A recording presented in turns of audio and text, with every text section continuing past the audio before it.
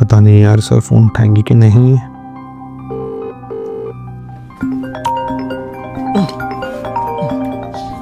किधर है?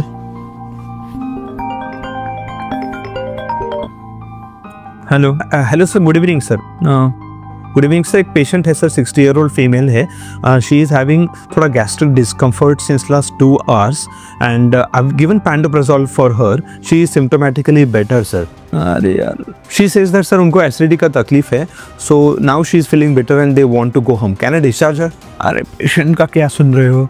इसी जी इसी भेजो मुझे पहले। ओके okay, सर भेजता हूँ सर अरे भाई इनका ईसीजी देखा है तुमने? ये एम हो सकता है पहले उनका ट्रोपोनिन करो और रिपीट करो ईसीजी वाले थर्टी मिनट्स के बाद ठीक है सर ओके सर ओके ठीक है A few moments later. Hi. Hi, sir. Good evening, sir. How is that patient now?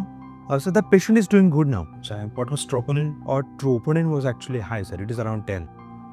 Exactly. I told you that's not acidity. Show me the ECG TS. Please. Oh God, there is ST elevation in V2, V3, V4. This is heart attack. Have you seen this? Yes, sir. I saw. But how is that possible, sir? Exactly. This is Wellens syndrome. In Wellens syndrome, whenever patient has chest pain, the ECG looks normal, and people confuse that with the acidity and discharge of the patient.